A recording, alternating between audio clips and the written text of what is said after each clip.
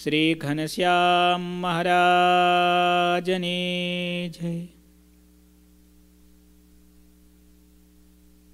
કથા શ્રવણ કરનારા બધા જ ભક્તોને ખૂબ ભાવથી જય શ્રી સ્વામિનારાયણ. શ્રી હરિચરિત્રામૃત સાગર, પુરાઠમું, તરંગ પંચાવનમું, સદગુરુ આધારાનંદ સ્વામી એટલી અલૌકિક વાત કરે છે. શ્રી હરિ બોલત ભયે, સબ હરિજન પ્રતિ જોવું નિષ્કામ ધર્મ દ્રઢ પાલના, ગાફલ ન વર્તના કોવું ભગવાનને અતિ પ્રિય વડતાલની ભૂમિમાં, એમાં રામનવમીના સમયમાં આગલે દિવસે, અષ્ટમીના દિવસે આમલા નીચે મોટી સભા ભરાણી. અને સભામાં શું બન્યું? પુરુષો પુરુષોમાં, બહેનો બહેનોમાં. સાધુ સાધુમાં, બ્રહ્મચારી બ્રહ્મચારીમાં. આવી રીતે ડિસિપ્લિનથી શિસ્ત રીતે બેઠા બધા. આ દિવ્ય સભાના દર્શન કરી મહારાજ બોલ્યા, આવી દિવ્યતા આ સત્સંગમાં છે. બાકી જગતમાં તો બધી જગ્યાએ ભેળ શેળ થઈ ગઈ છે, બોલો. અત્યારે ખાવામાંય ભેળ અને જીવનમાં પણ ભેળ. ગુણવંત શાહ, ગુજરાતીના ખૂબ સારા લેખક. એણે કોકટેલ કલ્ચરની વાત કરી છે. હવે જે નવી સંસ્કૃતિ આવી રહી છે ને, દાદા, ખીચડી કલ્ચર. એમાં પણ કઈ ખીચડી? રજવાડી ખીચડી. હવે આપણી રજવાડી ખીચડીમાં બધું જાય. ચોખા હોય, દાળ હોય ગ્રોસરી હોય. આ સુરતી લોકો તો ખીચડી બનાવે એમાં ઘઉં નાખે, બાજરો નાખે, કઠોળ નાખે. બધ, કોઈ વસ્તુ એવી નથી જે ખીચડીમાં ન જાય. આટલી હદ સુધી ભેળસેળ થઈ રહી છે. ખીચડીની ભેળસેળ હજી સહન થઈ શકે, પણ જીવનમાં જે ભેળસેળ આવી છે ને બે પગવાળો દેખાતો માણસ પશુ કરતાં પણ ભૂંડું જીવન જીવી રહ્યો છે. એના માટે આ કોઈ વાત નથી. આ વાત છે જેને અક્ષરધામ સુધી પહોંચવું હોય. આ વાત છે જેને શ્રીજી મહારાજને વહાલા થવું હોય. આ વાત છે અક્ષરધામના અનાદિ મુક્તોની પંક્તિમાં જેણે બેસવું હોય. બહુ ધ્યાનથી આ એક એક શબ્દો સાંભળજો. એક એક લાઈન ધ્યાનથી સાંભળજો. તમને યાદ રહેશે ને? તો પણ કરોડ જન્મની કસર કાઢી નાખે એવી વાત છે. મહારાજ શ્રી હરિ બોલત ભયે. હરિભક્તોની સભામાં મહારાજે કહ્યું, ભક્તો, નિષ્કામ ધર્મ દ્રઢપણે પાળજો.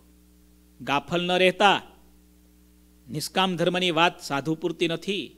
સંસારી ભક્તોએ પણ મહારાજને વહાલા થવો હશે. તો નિષ્કામ ધર્મ બ્રહ્મચર્ય રૂપી ધર્મ દ્રઢ સિદ્ધ કરવો પડશે. એક પરણેલી સ્ત્રી સિવાય જગતની સ્ત્રી માત્રમાં કા માતાની ભાવના, કા બહેનની ભાવના, કા દીકરીની ભાવના કરવી પડશે અને જો એમાં ભૂલ પડીને તો કરોડ જન્મે પણ કલ્યાણ નથી થવાનું. શનિવારની સભામાં આપણે વાત સાંભળી હતી. ડોસાભાઈના દીકરા અમીર શ્રીજી મહારાજ ધામમાં તેડવા આવ્યા. અંતરમાં સ્ત્રી પ્રત્યેનો થોડો રાગ હતો, થોડો રાગ હતો. એક રંચ માત્ર આસક્તિ હતી, તો શ્રીજી મહારાજે વિમાનમાંથી પાછો નાખ્યો, આપણે કથા સાંભળી હતી. ખોડી રૂગનાથપુરના અર્જણ ભગત સ્વપ્નું આવ્યું. મહારાજે દર્શન દીધા, વિમાનમાં બેસાડ્યા. વિમાન એમના બહેનના ખેતર ઉપરથી ચલાવ્યું. સ્ત્રીની આ શક્તિ નહોતી. પણ બહેન પ્રત્યેની એક લાગણી, કુણી લાગણી લાગણી કરતાં લાગણી હેત પ્રેમ જ્યારે મર્યાદાથી આગળ જાય આ શક્તિ બને અને અતિ થાય ત્યારે વાસના બને. ઊંડો ઊંડો રંચ હતો. શું કોઈ ભાઈને બહેન પ્રત્યે પ્રેમ ન હોય? હોય છે. હો પણ જોઈએ. પણ એની લિમિટ છે. શાસ્ત્રમાં દરેક જગ્યાએ લિમિટ લખી. તમને ખબર છે. Anything in excess is poison લાડુ પણ બે એક જમો, તો વાંધો ના આવે, પણ બસો પરાણે કોઈને જમાડી દો તો શું થાય?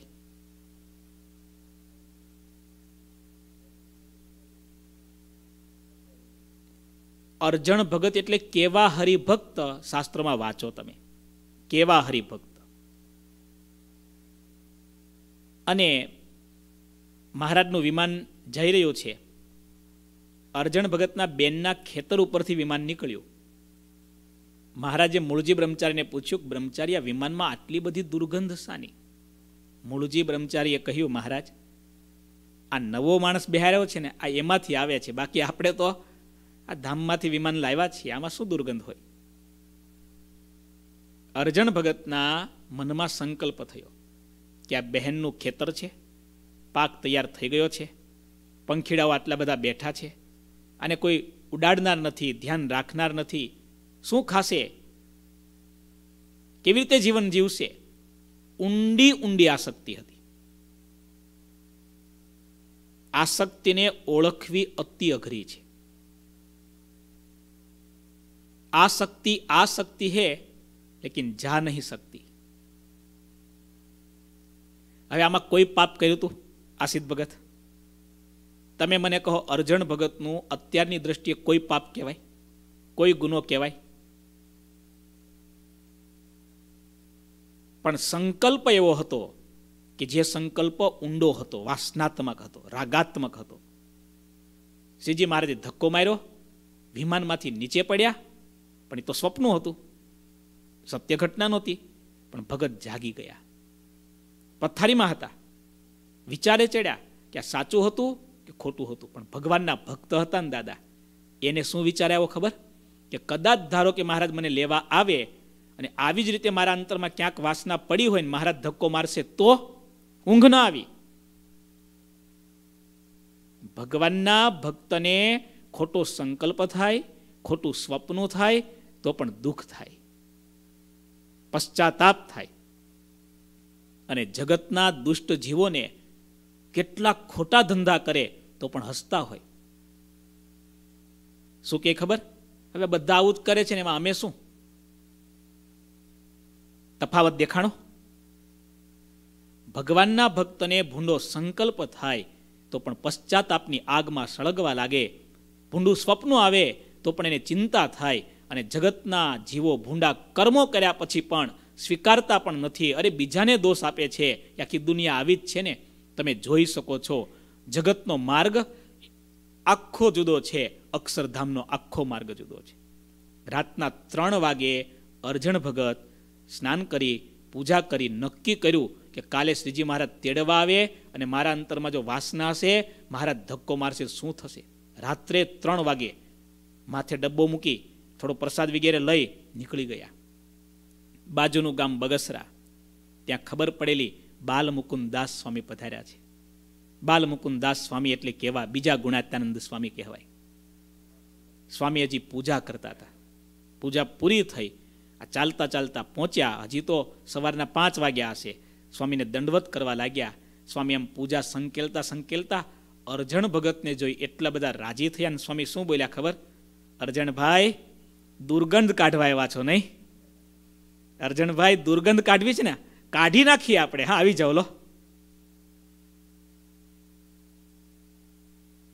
દાદા, કેવા બધા ભક્તો?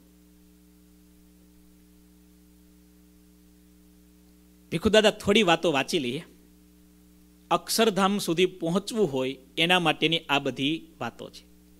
જેને આ દુનિયામાં બરાબર લીલા લેર કરવી હોય, તમે બધા કથા બંધ કરી દેજો. આટલી બધી અઘરી કથા, આટલો બધો અઘરો ડોઝ તમને પચેવો નથી. ભગવાને મહારાજે શું વાત કરી? હે ગ્રહસ્થ ભક્તો નિષ્કામ ધર્મ દ્રઢપણે પાળજો. ગાફલ ન રહેતા. ભૂંડું કર્મ તો નથી કરવાનું. ભૂંડી વાણી તો નથી બોલવાની. ભૂંડો સંકલ્પ પણ નથી કરવાનો. પહેલા કામ મનમાં જન્મે છે. પહેલા કામ મનમાં જન્મે છે. પછી એ કામ તન એટલે શરીરમાં આવે છે. મહારાજ દ્રષ્ટાંત આપે છે. વડનું ઝાડ કેટલું વિશાળ હોય. પણ એટલું મોટું ઝાડ અંકુરમાંથી તૈયાર થાય છે અને અંકુર બીજમાંથી તૈયાર થાય છે. બિયારણ કેટલું નાનું અને ઝાડ કેટલું મોટું. એમ કોઈ પણ કામ પાપનું કામ હોય કે પુણ્ય કામ હોય, એની પહેલી શરૂઆત માણસના મનમાં થાય છે.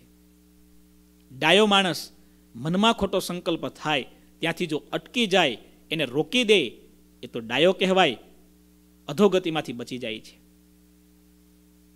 કેવી મહારાજ વાત કરે છે? કોઈ વનસ્પતિ બીજ વિના સંભવ નથી. એમ કોઈ પણ પ્રકારનું પાપ કે પુણ્ય સંકલ્પ વિના સિદ્ધ થતું નથી. ધર્મ વિનાના જેટલા સંકલ્પ છે, એ બધા ઝેર સમાન જાણવા. ધર્મ બિન સંકલ્પ ઉદે હોય જેતા. બહુ સારા સંતોની શિબિર હતી. એમાં આ વિષય ઉપર બહુ સરસ એક વિષય હતો કે સંતો આપણે સાચા સાધુ બનવું હોય. આપણા હૃદયમાંથી હા પડે કે આપણને મહારાજ ચાહે એવા આપણું જીવન છે, એવા સાધુ બનવું હોય. થોડા પ્રશ્નો હતા. આ પ્રશ્નોનો જવાબ તમારે લખવાનો નથી, મનમાં વિચારવાનો છે. એમાંના બે ત્રણ પ્રશ્ન દાદા અત્યારે બોલું છું.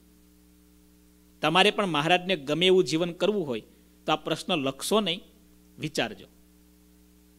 આપણા મનમાં કોઈ પણ પ્રકારનો ખોટો સંકલ્પ થાય, એની બળતરા, પીડા થાય છે કે નથી થતી? જવાબ તમારે આપવાનો છે, વિચારીને આપવાનો છે. નંબર બે. ખોટો સંકલ્પ થાય, ખોટા સંકલ્પ બે પ્રકારના. પોતાનું અહિત થાય એવો અને બીજાનું અહિત થાય એવો. સાંભળજો. ખોટા સંકલ્પ બે પ્રકારના, પોતાનું બગાડે એવો અથવા તો બીજાનું બગાડે એવો. આવા કોઈ પણ પ્રકારના સંકલ્પથી તમે પાછા વળવા માટે તમારા મન સાથે ક્યારેય લડાઈ લો છો? યસ કે નો? કોઈને ખબર નથી દાદા બધા પ્રશ્નો નંબર ત્રણ.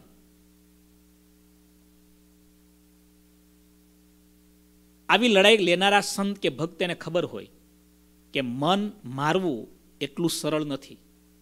અમુક સંકલ્પો તો એવા માથે ચડે, એવા માથે ચડે. તમે હજાર વાર એનું માથું કાપી નાખો ને તો એ સંકલ્પ જીવતો થાય. તો એવા સંકલ્પ માટે તમે હૃદયથી કરગરીને મહારાજને કે મોટા પુરુષને નિષ્કપટ ભાવે પ્રાર્થના કરી છે?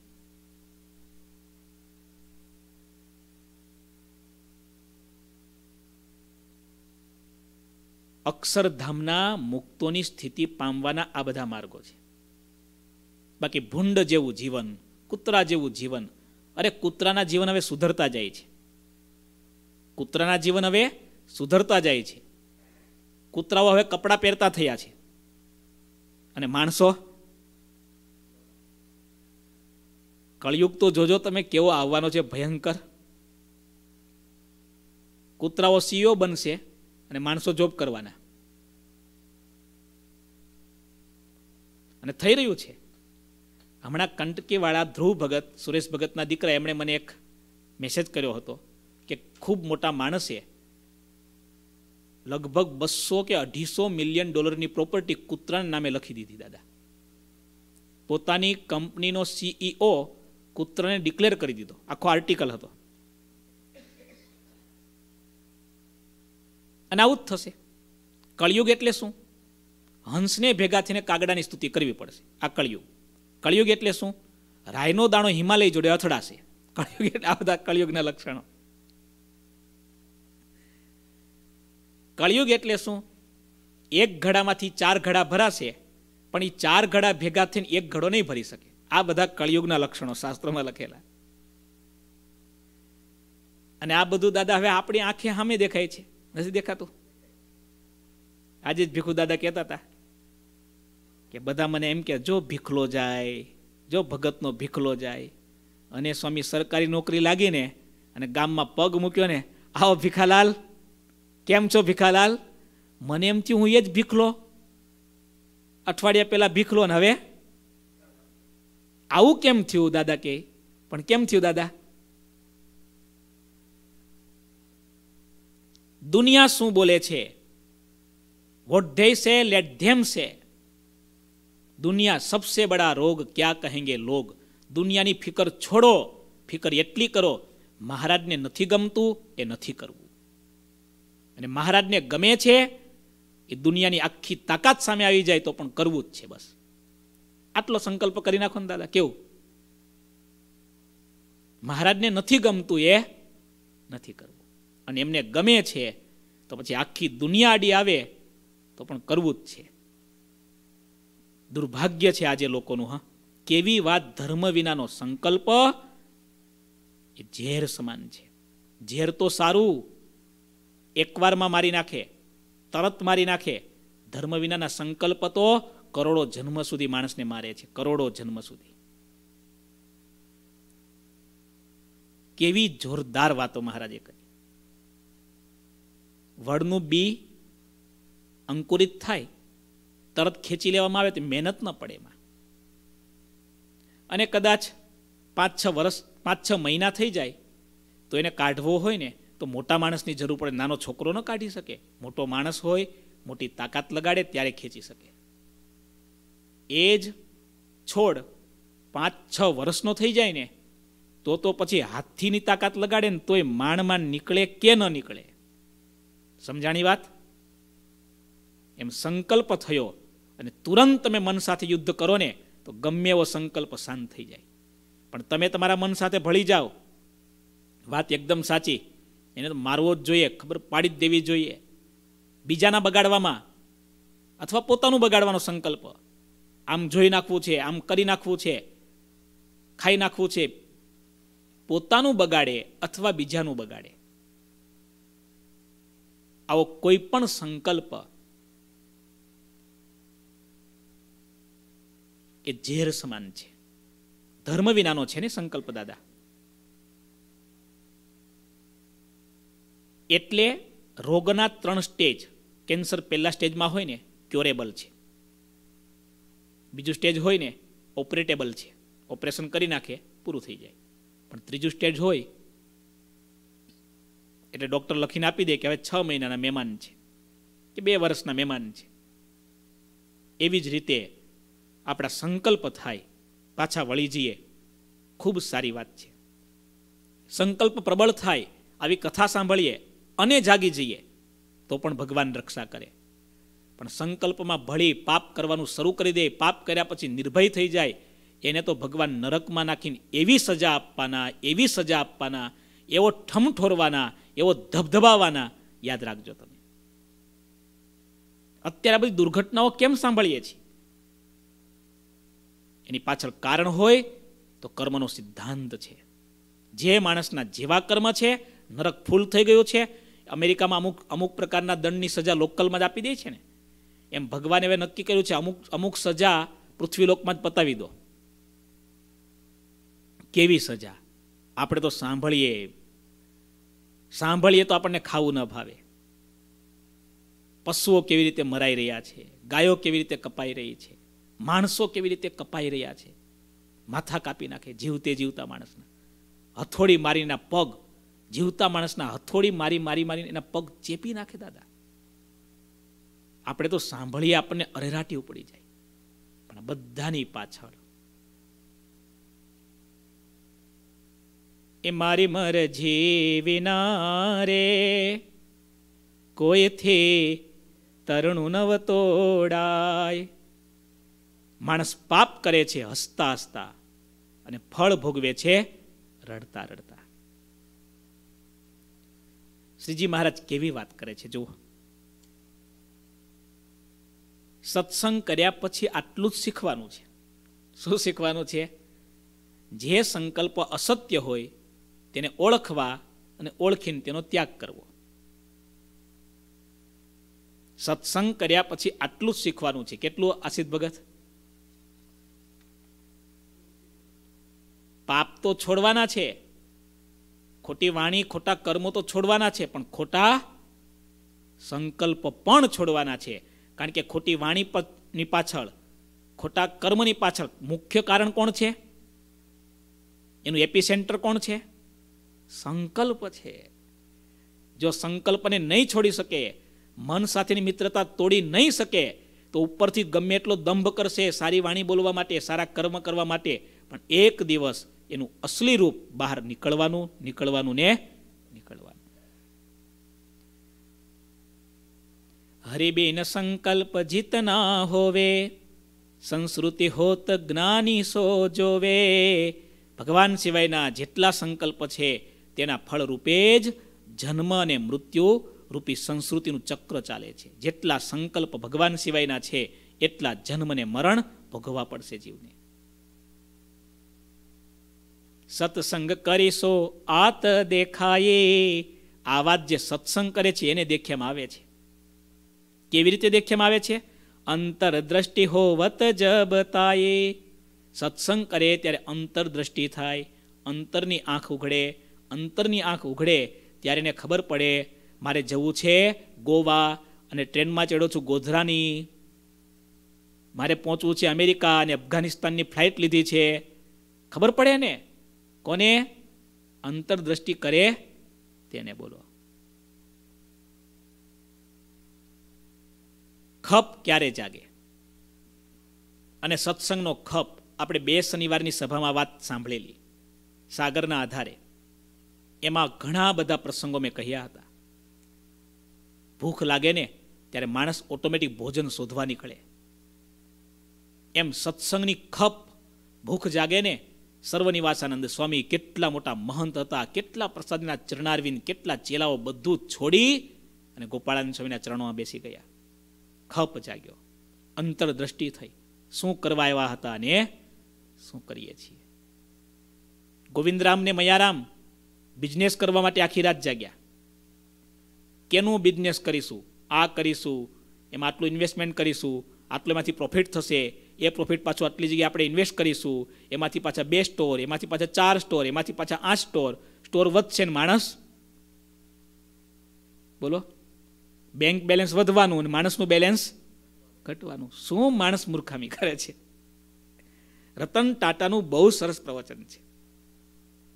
બહુ સરસ. આ પ્રવચન તો દાદા અમુક વસ્તુ તો આપણે જાણીએ ને આપણને લાગે શું આ લોકો એણે બહુ સરસ વાત કરી. મને ગમી એટલા માટે કે લોકો સમૃદ્ધિની પાછળ, પૈસાની પાછળ એટલા બધા પડ્યા છે કે પૈસા મેળવે છે અને સ્વાસ્થ્ય ગુમાવે છે, એના જેવા કોઈ મૂર્ખા જ નથી. સાચી મિલકત પૈસા છે કે હેલ્થ છે? હેલ્થ બગાડીને હેપીનેસની પાછળ ફરનારા માણસોને ખબર નથી કે એના જેવા મૂર્ખા દુનિયામાં કોઈ નથી. બેલેન્સ કરો ને તમે.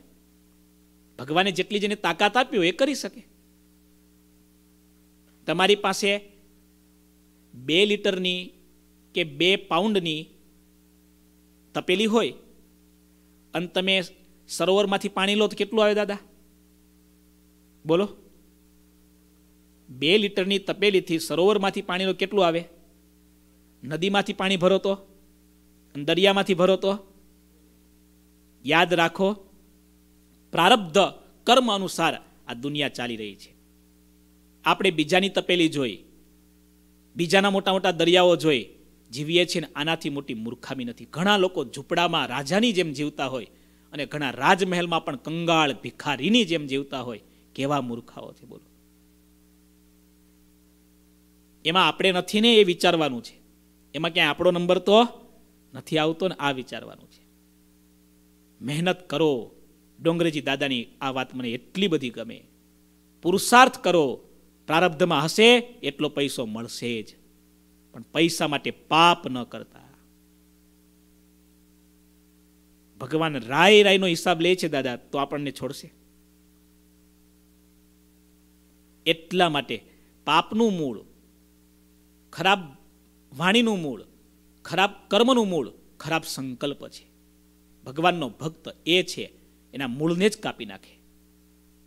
ખોટો સંકલ્પ થાય બળતરા થવા લાગે, ભગવાનને પ્રાર્થના કરે, પોતાના મન સાથે લડાઈ ચાલુ કરી દે, તો સંકલ્પમાંથી બચી જાય અને સંકલ્પમાંથી બચી જાય એટલે બધા પાપમાંથી બચી ગયો. ધ્યાયતો વિષયાન પુંસ સંગસ તે સુપજાયતે. ગીતાજીમાં ભગવાન કૃષ્ણ કહે છે, વિનાશ કેવી રીતે આવે? Steps for the destruction steps for the complete destruction ભગવાન સાત વાર જીવને ચાન્સ આપે છે. કેટલી વાર? કેટલી વાર? સાત વાર જીવને બચવાના ચાન્સ આપે છે. ધ્યાયતો વિષયાન પુંસ, સંગસ્તે સુપજાયતે, સંગાત સંજાયતે કામ, કામાત ક્રોધોભિજાયતે ક્રોધાત ભવતી સમોહ સમોહા સ્મૃતિ વિભ્રમ સ્મૃતિભ્રંસાત બુદ્ધિનાશ, બુદ્ધિનાશાત પ્રણશ્યતી પછી કોઈ ન બચાવી શકે. વચનામૃતમાં શ્રીજી મહારાજને કહેવું પડ્યું. વચનામૃતમાં શ્રીજી મહારાજને બોલવું પડ્યું કે આવી રીતે ભગવાન અને સંતની જેને નિષ્ઠા નથી, એનું તો ભગવાન સારું કરવાની ઈચ્છે ને. ભગવાન સારું કરવાની ઈચ્છે ને તો પણ સારું ન થાય. હવે શ્રીજી મહારાજ જ્યાં હાથ ધોઈ નાખે, ભગવાન કૃષ્ણ જ્યાં હાથ ધોઈ નાખે, ત્યાં આપણું ડાપણ ચાલશે? ચાલશે?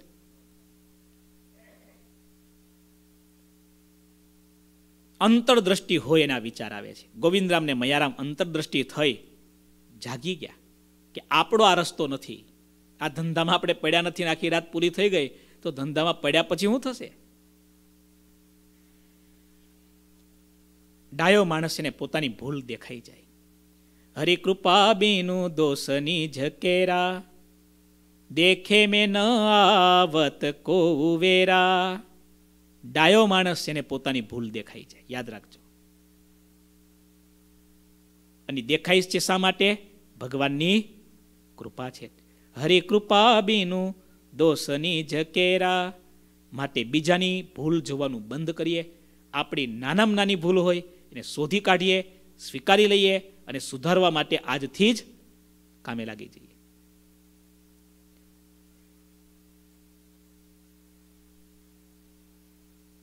સત્સંગ સમ નહીં સાર કો બ્રહ્માંડ મેં જીતનો સાર સો સબ તે હિન કાલ હે યું દેખના વારંવાર સત્સંગ સમ નહીં સાર કો સત્સંગ સમાન બીજો કોઈ સાર નથી કોઈ સત્ય નથી કોઈ તથ્ય નથી બ્રહ્માંડમાં જે કંઈ સાર દેખાય છે એ તો સત્સંગની નકલ છે આમ વારંવાર વિચારવું. બ્રહ્માંડમાં જેટલો સાર મનાય છે, તેટલી તેને સત્સંગમાં કાચપ છે. કરવાનું બધું જ છે, આસક્તિ છોડીને. દેહથી દાદાએ મંતવ્ય આપ્યું ને, દેહથી વ્યવહાર કરવો અને મનથી નોખા પડતા શીખવું. એવી કાચપ ન રહે, ત્યારે તેનું નામ પરિપક્વ સત્સંગ થયો જાણવો. એક એક પંક્તિ છે ને, ભગવાનના વહાલા સંતો અને ભક્તો માટે કામની છે, સોનાના અક્ષરે લખવા જેવી છે. બીજા વિચારોને નિરર્થક કરી દિન પ્રતિદિન સત્સંગમાં જ અધિક સાર મનાય આવો વિચાર કરવો. મને મહારાજ મળ્યા, કેવા સંતો મળ્યા, કેવા ભક્તો મળ્યા. ભાદરા ગામના ડોસાભાઈ સૂકો રોટલો અને પાણી જમે સંતો નીકળ્યા. આ ગામમાં તો મોટા મુક્તરાજ છે, દર્શન કરવા જઈએ, દર્શન કરવા આવ્યા. સંતોને એટલું બધું દુઃખ થયું. આવા મોટા હરિભગત. ખાવાનું ઘરમાં કંઈ નથી. કોરો રોટલો, સૂકો રોટલો. સંતોએ હૃદયનું દુઃખ વ્યક્ત કર્યું. અને ત્યારે ડોસાભાઈ કે, સ્વામી, આ કોરો રોટલો દેખાય? જલેબી કરતા, પેંડા કરતા, બરફી કરતા, સાટા કરતા, આમાં મોટો સ્વાદ છે. કેમાં? સૂકા રોટલામાં. અરે, પણ ભગત આમાં નથી દૂધ, નથી શાક, નથી મરચું, નથી અથાણું. રોટલોનું પાણી એમાં સ્વાદ? શું સ્વાદ? અરે સ્વામી, આ રોટલાના ટુકડે ટુકડે સ્વામિનારાયણનું નામ છે, સ્વામિનારાયણનું નામ. હે દાદા, મને તો એ ઘટના એવી યાદ રહી ગઈ ને અમારા ભીખુ દાદા, ઘનશ્યામ દાદા જમવા બેઠેલા ડોક્ટર તેજસ ભગત આવ્યા. ડોક્ટર તેજસ ભગત. અને સંતોએ ડીશ પીરસી અને ડીશમાં એક છે ને મોહનથાળનું બટકું મૂકેલું. મોહનથાળનું મોટું બટકું જોઈ અને અમારા તેજસ ભગતનું મોઢું એવું પટ પડી ગયું એ વિચારમાં પડે કે આ આ બટકું સ્વામી આટલું બધું નહીં ખવાય. અમે કીધું, જમી જાઓ ને. ના ના, સ્વામી ડીશમાં આ તો બહુ જ છે જાજુ. એટલે મેં કીધું, કંઈ વાંધો ભગત, અત્યારે ડીશ ચોખ્ખી છે ને, આમાંથી એક કામ કરો, અડધું લઈને, દાદા, ઘનશ્યામ દાદા, મૂકી દો. તો ઘનશ્યામ દાદાની થાળીમાં બે ચકતા જોઈને એમની આંખો ફાટી ગઈ. બોલો. હે, દાદા?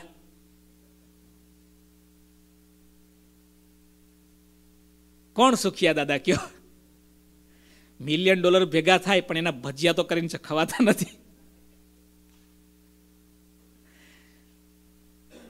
આ દુનિયામાં મોટામાં મોટું સુખ તમે જમોન પચી જઈએ પેલું. અને બીજું પથારીમાં પડો ને ઊંઘ આવી જાય, આ બીજું સુખ. અને શાંતિથી ભગવાનને સંભાળી ધામમાં જઈ આ ત્રીજું સુખ. આના કરતા બીજું સુખ કરું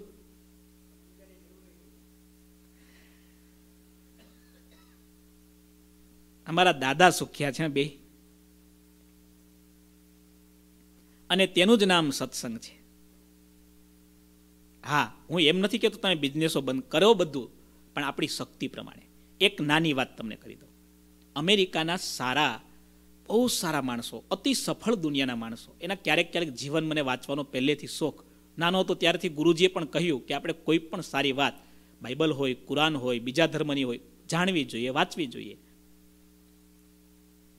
દાદા, આ દેશમાં એક બહુ સરસ ભગવાને ચોવીસ કલાક શા માટે બનાવ્યા? Eight plus eight plus eight એક ફોર્મ્યુલા ચાલે છે કે તમે તમારા જીવનમાં કોઈ પણ કામ કરો, જીવનમાં બેલેન્સ કરીને કામ કરતા શીખો. કોઈ પણ કામમાં બેલેન્સ તૂટે એ નુકસાન છે. આપણા શરીરમાં બ્લડ પ્રેશર વધે તો પણ પ્રોબ્લેમ ઘટે તો પણ પ્રોબ્લેમ સુગર વધે તો પણ પ્રોબ્લેમ ઘટે તો પણ પ્રોબ્લેમ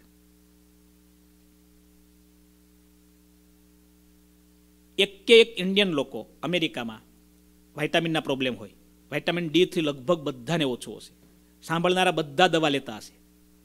ઓછું થાય કેવા પ્રોબ્લેમ થાય? આશિત ભગતને પૂછો. આપણા હાર્દિક ભગતને પૂછો. બહુ જ ખતરનાક પ્રોબ્લેમ છે દાદા. વાઇટામિન ઓછા થાય તો. વિટામિન ડી ઘટે તો પણ પ્રોબ્લેમ અને દાદા વધી જાય ને, તો પણ ડેન્જર પ્રોબ્લેમ થાય. હમણાં કરી ભગતે મને વાત કરી. બહુ ટેબ્લેટો લીધી ને તો વધી ગયું તો ભૂક્કા બોલાવી દીધા. વધે તો પણ ખરાબ, ઘટે તો પણ માપે જ સારા. વિટામિન માપે હોય ને તો જીવી શકાય. એમ આપણા જીવનમાં પણ આપણી બધી પ્રવૃત્તિમાં માપસર આપણે ચાલીએ ને, બીજાનું જોઈને આપણું બેલેન્સ કરીને ચાલીએ ને તો જ જીવી શકીએ. Eight plus eight plus eight આઠ કલાક દિલ દઈને કામ કરો. આઠ કલાક જોબ અને બિઝનેસ આઠ કલાક ફેમિલી એન્ડ પ્રેયર્સ બીજા આઠ કલાક પરિવાર સાથે કે ભગવાન સાથે વિતાવો. અને બાકીના આઠ કલાક રેસ્ટ એન્ડ હેલ્થ આરામ કરો, મનને તનને શાંત કરો. હવે આવી રીતે જીવે દાદા. એને વાંધો આવે? એ નેવું વર્ષ પંચાણું વર્ષ થાય તો પણ કેટલા આનંદમાં જીવતા હોય. પિસ્તાલીસ વર્ષે કેન્સર બાવીસ વર્ષે એટેક વિચાર તો કરો, બાવીસ વર્ષે એટેક બાર વર્ષના દીકરાને ડાયાબિટીસ કેવા કેવા, હવે બાર વર્ષનો દીકરો, બાર ડાયાબિટીસ આટલી બધી થઈ જાય, એ જીવન કેવું આગળ, એનું જીવન કેવું થશે? માટે દુનિયાને જે કરવું હોય તે ભલે કરે, એમને કરવા દઈએ, પણ આપણે ભગવાનના ભક્ત છીએ, જો જાગી જશો ને તો કામ થઈ જશે. અને બીજી વાસનાથી છૂટીને એવું સત્સંગનું અંગ કરવું, જે હું પરમ હિત માની સહુને કહું છું શ્રીજી મહારાજ કે દરેક સત્સંગે પોતાનું અંગ આવું કરવું, વાસના છોડવી અને આવું અંગ કરવું. કેવું? દિન પ્રતિદિન સત્સંગ વધારે થાય. સત્સંગ વિનાની સાર વસ્તુ જણાતી હોય તો પણ તેને અસાર માનવી. આ બધું સારરૂપ જ છે ને દાદા? નોકરી, બિઝનેસ, પૈસા આપણે ઉત્સવ કરવા જરૂરી છે. આપણે એને ખોટા નથી કરવાના. પણ વિચારથી એને એમાં શું દોષ છે યાદ રાખવું જોઈએ. જો દોષને ન જાણીએ તો ક્યારેક નુકસાન થાય. આવું વારંવાર શીખવું અને પ્રેમથી કથા, કીર્તન એવી રીતે કરતા રહેવા. જગતમાં જેટલા વિષય કહેવાય છે, ભલે તે વધારેમાં વધારે સુંદર હોય, પણ તે વિષય સત્સંગમાં ઉપયોગી થતા નથી. કલ્યાણ માટે કામ લાગતા નથી. તે વિષય તો અત્યંત વિઘ્નરૂપ છે એમ સમજવું. એટલે કે જગતના વિષયના દોષના વિચાર કરતા શીખવું. જગતમાં કેવા કેવા દોષ છે, જગતના પંચ વિષયમાં કેવા કેવા દોષ છે, એનો વિચાર જો દ્રઢ ન કર્યો હોય ને, તો ક્યારેક એમાં ફસાઈ જઈએ, ક્યારેક એમાં લલચાઈ જઈએ, ક્યારેક એમાં લેવાઈ જઈએ. સતસંગ દિન દિન અધિક હિ હોવે, સતસંગ દિન દિન અધિક હિ હોવે, તાબેન સાર અસાર હિ જોવે તાબેન સાર અસાર હી જોવે એસે શીખના વારંવારા એસે શીખના વારંવારા કથા કીર્તન યુ કરના પ્યારા હે વાલા સંતો ભક્તો યાદ રાખજો ખરા ભક્તની બધી સમજણ આવી હોય છે. તેણે કરીને જ તે હરિભક્તનો મોક્ષ થતો હોય છે. શ્રીહરિ આટલી વાત કરી રહ્યા, ત્યાં રસોઈ તૈયાર થઈ. શ્રીહરિ ઘણા પ્રેમભાવથી સરસ રીતે જમવા માટે ગામમાં આવ્યા. અને દાદા, જમવાનું થાય એટલે જમવાનું બરાબર ને? પહોંચી જવું જોઈએ કે નહીં? એટલે મહારાજ કે, બસ આટલી વાત યાદ રાખશો બહુ છે. એટલે મહારાજ જમવા પધાર્યા પછી. હવે દાદા, બધી વાતમાં સમજવાનું છે. ગુરુજીએ વાત કરી છે કથામાં. એક બહુ સારા સંત હતા. ગામનું નામ નથી લેતો. અને એ મંદિરમાં રહેતા.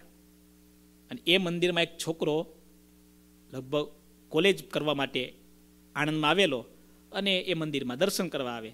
છોકરો એટલો ભગત, માનસી પૂજા કરે, અડધો કલાક સેવા કરે, કયાગ્રો, ડાયો, વાલો. એટલે પેલા સ્વામી એકલા હોય છોકરામાં એવું સ્વામીને હેત થઈ ગયું. દીકરાને સ્વામીમાં હેત થાય તો વાંધો ન આવે. પણ કોને હેત થઈ ગયું? સ્વામીને દીકરામાં હેત થઈ ગયું. કલાક બબ્બે કલાક, ત્રણ ત્રણ કલાક વચનામૃતની કથા સંભળાવે. સંભળાવે તો ઠીક છે. રાત્રે પેલા છોકરાની એક્ઝામ હોય, વાંચવું હોય તો કે એક વચનામૃત તો સાંભળવું જ જોઈએ, પરાણે કરાવે. અરે ક્યારેક પેલો છોકરો થાકી જાય, પછી મંદિર આવતો ઓછો થઈ ગયો. એક્ઝામ હોય, વાંચવાનું એટલે મંદિરે ન આવે. ખાલી રાત્રે મોડે મોડો આવે. ત્યાં સુધી આ સ્વામી ગાંડા થયા, કોલેજમાં પહોંચે. કોલેજમાં પહોંચે એના પ્રોફેસરો કે શું કામ છે સ્વામીજી? પેલા, ભાઈ, મળશે, મારે કામ છે કાશ. બોલો, ત્યાં કે તું કેમ દેખાતો ને તારા માટે લે, ભજીયા લઈને આવ્યો છું. તારા માટે આ પ્રસાદ લઈને આવ્યો છું. વિચાર તો કરો દાદા. એવો મોટો ભવાડો થયો.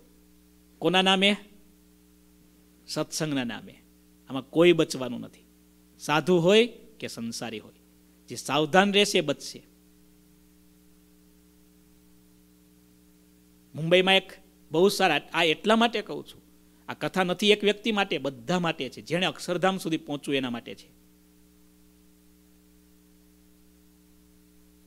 ક્યાં જાજી વાતો કરવી? હું કેટલું જ કહું છું, સાવધાન રહેવાનું સમય છે બધા માટે. ક્યાંથી સાવધાન? સંકલ્પ ખોટો થયો તો પણ દુઃખ થવું જોઈએ. સંકલ્પ ખોટો થાય તો આપણા મન સાથે લડવાની જરૂર છે. આપણે બીજા સાથે લડીએ છીએ. આપણા મનને સાચું કરવા માટે આપણું ધાર્યું કરવા માટે, આપણા મનને સાચું ઠેરાવવા માટે આપણે સાચા સંતો, સાચા ભક્તોને રોજ ખોટા પાડીએ છીએ. આ તો કેટલી મોટી ભૂલ છે.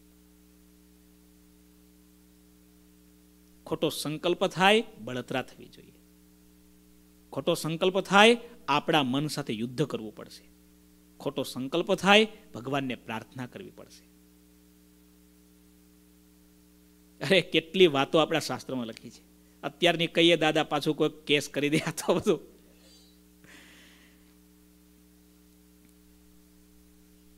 શ્રીજી મહારાજના સમયમાં ઈડર પાસે એક સુબેર નામનું ગામ, ત્યાં ગોવિંદરામ કરીને ભગવાનના ભગત બહુ સારા. હવે આ ગોવિંદરામ ભગત સારા ને સેવાભાવી સારા. હવે જે બહુ સારા હોય, સેવાભાવી હોય હંમેશા આ પૃથ્વી ઉપર નિર્દોષ અને ભોળા માણસનો જબરજસ્ત દુરુપયોગ થયો છે. ગુજરાતીમાં કહેવત છે, બે પાડા બાંધે, ખડદો કોનો કાઢે? ઝાડનો કાઢે. એમ અનાદિકાળથી રીત એવી જ ચાલે છે કે નિર્દોષ અને ભોળા માણસો, ભોળા બનજો, ભોટ ન બનતા. શું ન બનતા, દાદા? આપણે ભોળા નથી, ઘણીવાર ભોટ હોઈએ છીએ. આપણી ભૂલ છે. સ્વામી વિવેકાનંદ કહેતા be bold be strong be brave અંતર જાગૃતિ માટે સ્વામી વિવેકાનંદના અમુક પ્રવચનો એટલા જબરજસ્ત, એટલા તેજાબી છે. મરેલા માણસને જાગતો કરી દે. માણસે પોતે પોતાના રક્ષક બનવું પડશે. આ હરિભગત ભોળા, સેવાભાવી ગામમાં બ્રહ્મચારી આવ્યા. બ્રહ્મચારી થોડા થોડા પૈસા ભેગા કર્યા કરે. અને આ હરિભગતને આપે. આ હરિભગતને ખબર કે આ સાધુના પૈસા રાખવા પાપ છે, કરાય નહીં આવું. તેમ છતાં પેલા સંત કહે ને અરે ભાઈ, આ તો સેવા કહેવાય, આ પાપ ન કહેવાય. કે મારા થોડા છે તો ધર્માદાના છે. ગોળી ગમે તેમ પાઈ દે દાદા. એમાં પેલા બ્રહ્મચારી મરી ગયા. બ્રહ્મચારીના બસો રૂપિયા એ જમાનામાં ભેગા કરેલા આ સાધુ પાસે, આ હરિભગત પાસે પડ્યા રહ્યા. અને એ હરિભગતને ત્યાં દીકરાનો જન્મ થયો. હવે દીકરો એટલું રડે એટલું રડે, છાનો જ ન રહે. આ હરિભગત તો મૂંઝાયા, ભગવાને દીકરો દીધો, પણ આવો. એમાં કોઈ મોટા સંત આવ્યાને પૂછ્યું કે, સ્વામી, આને હું વળગાટ છે? કે ખબર નથી પડતી, જુઓ ને તમે. પેલા બ્રહ્મનિષ્ઠ સંતે દ્રષ્ટિ કરીને જોયું, ઓહો હો, આ તો પેલા બ્રહ્મચારી. તે સેવા કરેલી? હા, બહુ મોટી સેવા કરી છે મેં. બસ એ તે સેવા કરીને એટલે તારી સેવાનું ફળ આપવા આવ્યા છે તને. શું સેવા કરી હતી? અને આ હરિભગતે બધી માંડીને વાત કરી કે એ સ્વામીજી પૈસા ભેગા કરીને મને આપતા, પાપમાં ભાગીદાર બનાવ્યો, બસો રૂપિયા મારી પાસે પડ્યા છે. કાઢ કાઢ, આ તો સાધુના પૈસા. એનો તો વિનાશ કરશે તારો પણ. ધર્માદાનું અન્ન ખતરનાક હોય છે. હરિભગત પાસે સંકલ્પ કરાવ્યો. કે આ બસો રૂપિયા બ્રહ્મચારીના છે, મારા નથી. આ દીકરો એ બ્રહ્મચારી છે. એ જો દેહ મેલી દે, ભગવાનના ધામમાં જાય, મુક્ત થાય, તો બધા પૈસા એની સ્મૃતિમાં હું વાપરી નાખી સંકલ્પ કર્યો, નાના દીકરાએ દેહ છોડ્યો, બ્રહ્મચારી મુક્ત થયા પૈસામાં વાસના હતી ને, કે મારા પૈસા હરિભગત પડાવી તો નહીં, પૈસા તો જ ભેગા કર્યા હોય ને. પૈસાની વાસના પૂરી થઈ, અને આ હરિભગતે બધા રૂપિયા સત્સંગને અર્થે સત્સંગના ભક્તોને અર્થે, સંતોને અર્થે વાપરી નાખ્યા. વિચારો દાદા. એટલા માટે શ્રીજી મહારાજે જ્યાં જ્યાં વચનામૃત હોય કે મહારાજના અન્ય શાસ્ત્રોમાં સાક્ષાત પ્રત્યક્ષ મુખના વચન હોય, એનો સાર એટલો જ છે. કોઈ પણ બીજા સંત ભક્ત હોય ને એની આવી આ વાતો આપણે સાંભળીએ ને, તો પણ એના દોષ આપણે નથી જોવાના. એને જે કરવાનું હશે કહેવાનું હશે? એ ઠાકોરજી બધું કરવાના જ છે, કહેવાના જ છે. આપણે આપણા નિર્ણાયક બનીએ. કોના? આપણે બીજાની ભૂલના જસ્ટિસ બનીએ છીએ. આપણી ભૂલના વકીલ બનીએ છીએ. ઇઝ અ બિગ મિસ્ટેક આપણે આપણી નાનામાં નાની ભૂલને મોટામાં મોટી કરીને માનીએ અને બીજાની કદાચ મોટી ભૂલ હોય તો પણ આપણે નાની કરી દઈએ. આ ભગવાનના એકાંતિક સંતો પરગુણ પરમાણુન પર્વતી કૃત્ય નિત્યમ નિજરદિ વિકસંત સંતિ સંત કિયંત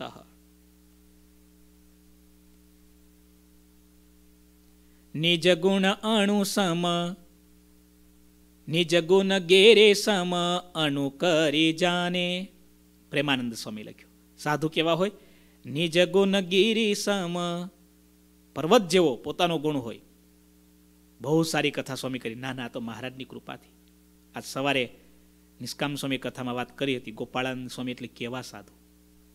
તમે તો શાસ્ત્રો વાંચતા નથી. શ્રીજી મહારાજે જેવા પરચા નથી પૂર્યા, એના કરતા મોટા પરચા કોણે પૂર્યા છે? ગોપાળાનંદ સ્વામી આ તો શ્રીજી મહારાજની જોડે હતા. બાકી જો અલગ હોત ને, તો શ્રીજી મહારાજની જેમ સર્વોપરી થઈ, અવતાર નહીં, અવતારના પણ અવતારી થઈને સ્વામી પૂજાતા હોય. આવું ઐશ્વર્ય. આજે પણ સારંગપુરમાં લાકડી કોની છે? લાકડીનો પ્રતાપ જોયો છે ક્યારેક તમે?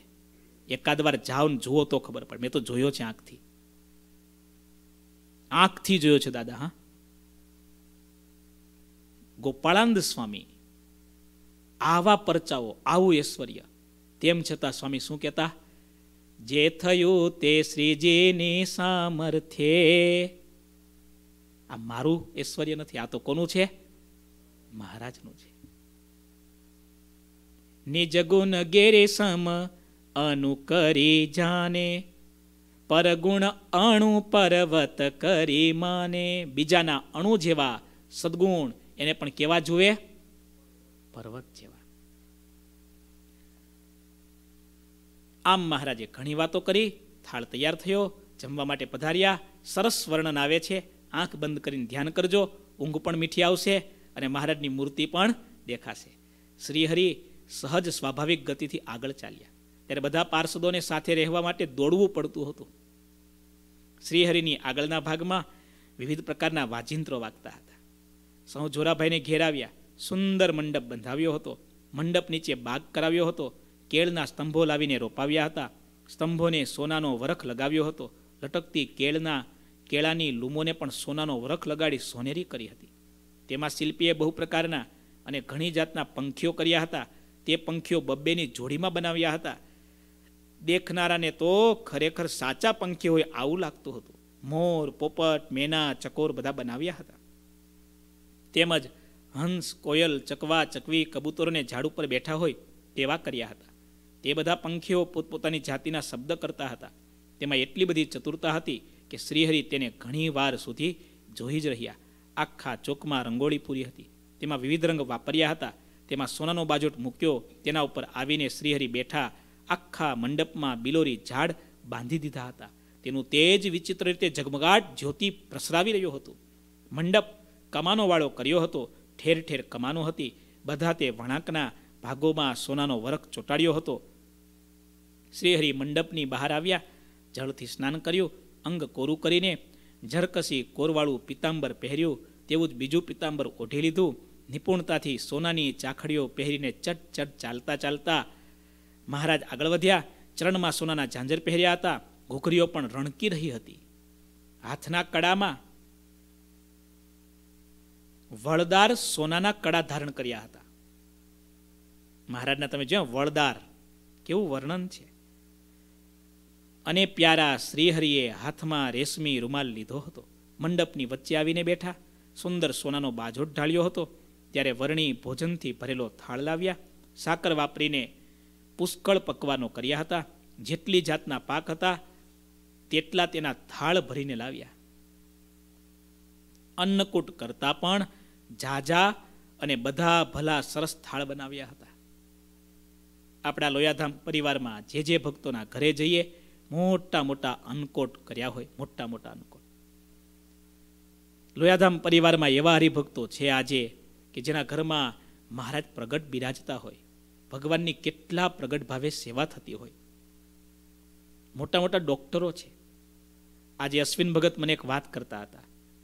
ડૉક્ટર જય, એમના જમાઈ જે છે ઓમ ભગતના પપ્પા, એ મહારાજને એમનો જ્યારે વારો આવે ત્યારે સેવા કરતા હોય, ત્યારે કેવી રીતે જમાડે, કેવી રીતે સુવારે, કેવી રીતે જગાડે, બસ આ જ કરવાનું છે દાદા. અમે લાલ કપડાં કરીને મહારાજમાં જોડાઈએ, અમે લાલ કપડાં પહેરીને મહારાજની સેવા કરીએ અને તમે પેન્ટ શર્ટમાં ભગવાનની સેવા કરો. ભગવાનમાં હેત કરો. ભગવાને તમને તાકાત આપી હોય, બબ્બે પાંચ પાંચ મિલિયનના બંગલા બનાવો, અમે ક્યાં ના પાડીએ છીએ? ગુરુજી તો એટલા બધા દયાળુ છે. કોઈ હરિભક્તનું ઘર બનતું હોય કોઈક હરિભક્તનું સારું થતું હોય, ગુરુજી કેટલી પ્રાર્થના કરે છે. તમે બધા ભક્તો સાક્ષી છો. એક નાના દીકરા માટે પણ એમના હૃદયમાં દયા છે. એનું કેમ હિત થાય એ જ વિચાર છે. પણ બસ, આપણો સોનાનો મહેલ દ્વારિકા બનાવીએ, લંકા નહીં. આટલું યાદ રાખીએ. આપણું ઝૂંપડું હોય તો સુદામાનું ઝૂંપડું બનાવીએ, માછીમારનું નહીં. ભગવાને જે આપ્યું હોય, બરાબર દાદા? અમારા દાદાનો બેડરૂમ કેટલો મોટો દાદા? પચા બાય પચાનો દાદા, હે? ઇન્ટરનેશનલ બેડરૂમ હે? ભીખુ દાદા ઘનશ્યામ દાદા બહુ હસતા હોય ક્યારેક ક્યારેક, હા? પચા બાય પચાનો બેડરૂમ છે બોલો દાદા? આટલો મોટો માસ્ટર બેડરૂમ કોઈનું નહીં હોય.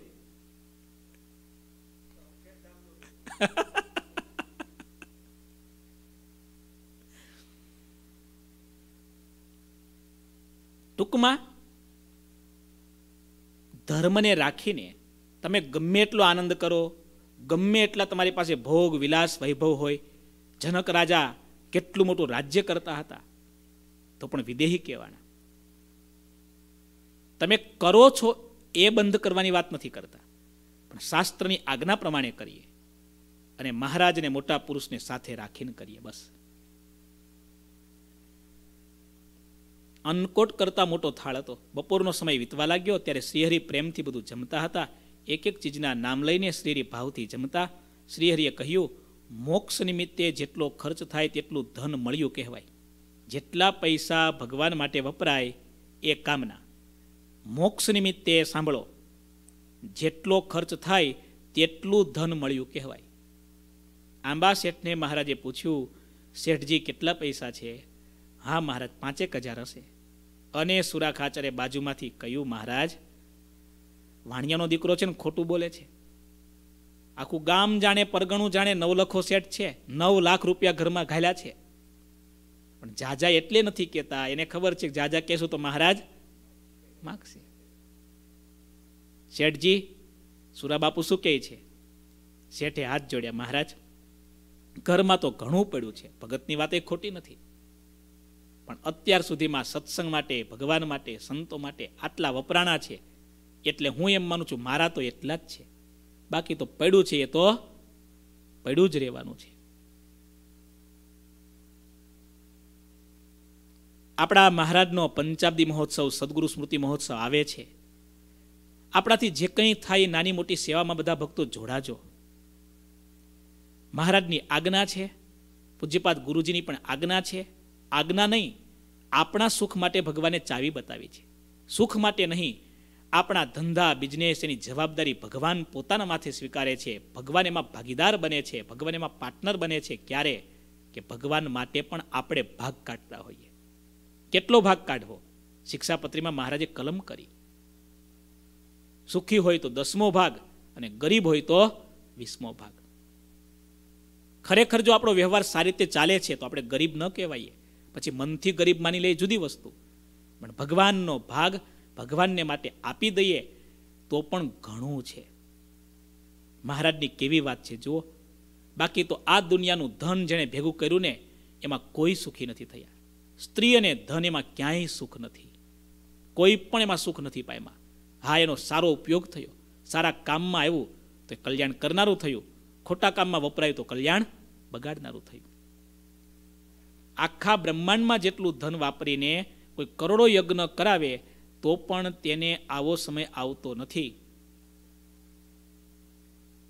આખા બ્રહ્માંડ જેટલું ધન વાપરીને કોઈ કરોડો યજ્ઞ કરાવે, તો પણ તેને આવો સમય આવતો નથી. હરિભક્ત હોય તેને આ વાત સત્ય જ જાણવી. કેવો સમય? ભગવાનની સેવા કરવાની તક. સંતો ભક્તોની સેવા કરવાની તક. કહેવાય છે, નાણું ફરીવાર મળે છે ટાણું ફરીવાર મળતું નથી. તક જોઈ તક જોઈ અને જે માણસ કામ કરી લે ને, એ તકદીરને બનાવી દે. અંગ્રેજીમાં કહેવત છે opportunity knocks the door but once હિન્દીમાં કહેવત છે, તક કે તક કે આગે બાલ હે, પીછે ટાલ હે. જો સમજાય તો તક કે આગે બાલ હે ઓર પીછે મોટા ભાગના માણસોને આગળ ટાલ હોય ને પાછળ વાળ હોય પણ તકને કેવું છે હા એનો અર્થ શું થાય એનો અર્થ એવો થાય કે તકને પકડવી હશે તો આગળથી પકડાશે ટાલિયા માણસને પાછળથી પકડો શું થાય કેવું જોરદાર લખ્યું કહે કે તમારે ઓપોર્ચ્યુનિટીને જો પકડવી હોય તો પહેલેથી તૈયાર રહો opportunity knocks the door but once એટલે આપણા માટે પંચાબ્દી મહોત્સવ, સદગુરુ સ્મૃતિ મહોત્સવ આ બહુ મોટો અવસર છે. કેનો? સેવા કરવાનો. આપણી સંપત્તિ, સમય અને શક્તિને સાર્થક કરવાનો. માટે બધા ભક્તો રજા લેજો સાતે સાત દિવસ હાજરી આપજો. તમારી થાય એટલી નાની મોટી સેવા કરજો, પણ રજીસ્ટ્રેશન કરવાનું ભૂલતા નહીં. જે લોભી હોય તેનાથી આવો ખર્ચ થાય નહીં. લોભી તો વિચારીને ધન જોઈને જ ખર્ચે છે. લાખ રૂપિયા ખર્ચ કરવાનું થાય તો મળદા જેવો થઈ જાય. લાખનું કામ પચીસ રૂપિયા વાપરીને પૂરું કરે. લો, લાખનું કામ પચીસ રૂપિયા વાપરીને પૂરું કરે. આવા લોભિયાઓ છે. હમણાં ભારતની અંદર નોટબંધી થઈ. એ નોટબંધીમાં રાજસ્થાનના એક વેપારીના ઘરેથી તેર હજાર કરોડ રોકડા રૂપિયા નીકળ્યા. જેમાંથી બસો પાંચસો કરોડ તો ધૂળ થઈ ગયેલા દાદા, ધૂળ. ઉધઈ પડી ગયેલી. અને એ વેપારીની આખી કથા આર્ટિકલમાં આવેલી, ઉપરથી ફાટેલા કપડાં પહેરવાના, ફાટેલા ચંપલ પહેરવાના, ઘરનું ઠેકાણું નહીં. કોઈ કલ્પના ન કરી શકે કે આની પાસે તેર લાખ કે તેર કરોડ હશે. એના ઘરમાંથી કેટલા નીકળ્યા? માફ કરજો. હૈદરાબાદની અંદર આજે ગલીએ ગલીએ મોટા બેનરો લાગ્યા છે. વચ્ચે તો હૈદરાબાદમાં ઝુંબેશ ઉપડેલી. હૈદરાબાદના ભિખારીઓ પાસેથી લાખોના લાખો રૂપિયા નીકળ્યા. રોડ ઉપર ભીખ માગતા હોય. એક ભિખારી મરી ગયો. એને માણસો ઉપાડવા આવ્યા. એની જોડે કોથળો હતો. એ કોથળો કોઈ ઊંચો કર્યો. એમાંથી પૈસા ખરવા માંડ્યા. નવ લાખ રોકડા રૂપિયા ભિખારીના કોથળામાંથી નીકળ્યા. હૈદરાબાદમાં મોટા બેનરો માર્યા છે. કે તમારે કોઈકને આપવું હોય ને તો આપો, પણ વિચારીને આપો. તમે ખાલી એના કપડાં જોઈને, ખાલી એના અંગ પ્રત્યંગ જોઈ, એના આંખમાં મગરના આંસુ જોઈ, આપશો ને, તો કદાચિત તમારા પૈસા કોઈ સારી જગ્યાએ નહીં વપરાય. વૃંદાવનમાં હમણાં કેટલું મોટું રેકેટ પકડાયું, દાદા. એક માણસ ગુજરાતનો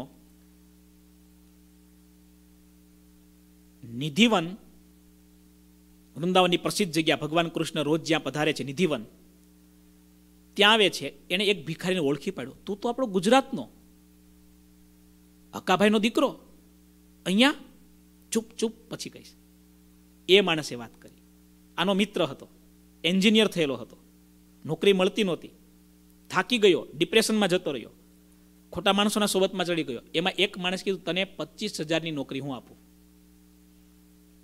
હવે આને પાંચ હજાર નહોતા મળતા અને કેટલાની લાલચ લાલચ મળી? પચીસ હજારની. મહિને પચીસ હજાર આપીશ. પણ હું કમ કરવું પડે? ફાટેલા કપડાં પહેરવાના, માથે બાંધી દેવાનું, થોડા વાંકા વળી જવાનું અને કટોરો હાથમાં લઈ અને આ જગ્યાએ બેસી જવાનું. ભીખ માગવાનો કોન્ટ્રાક્ટ દાદા.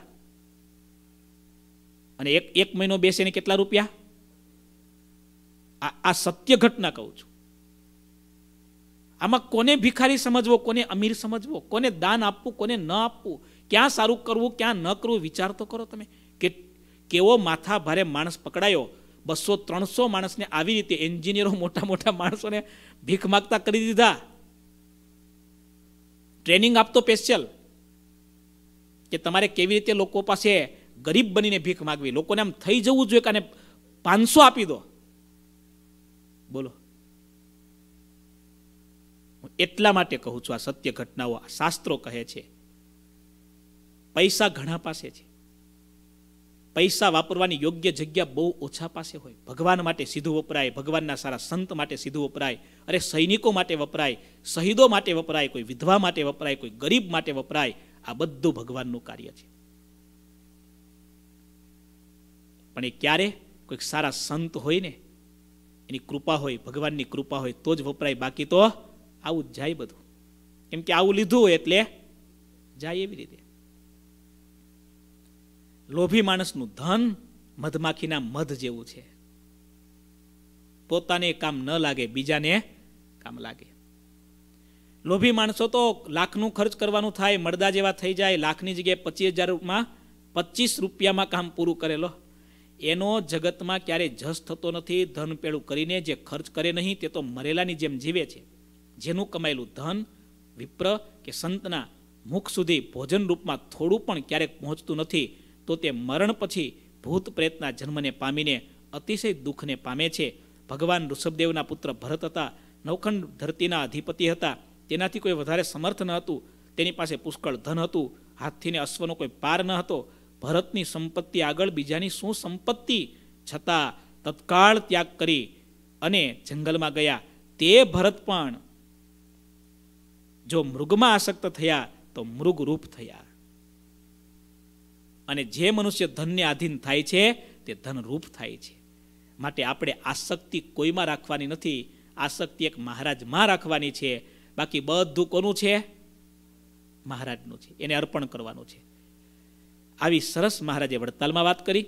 ઇતિ શ્રી સહજાનંદ સ્વામી શિષ્ય, સિદ્ધાનંદ મુનિ વિરચિત, શ્રી હરિચરિત્રામૃત સાગરના અષ્ટમપુરમાં અંતરદ્રષ્ટિનું મહત્વ કહીને શ્રીહરિ જોરાભાઈના ઘરે થાળ જમ્યા. એ નામે પંચાવનમો તરંગ સમાપ્ત થયો. બોલો ઘનશ્યામ.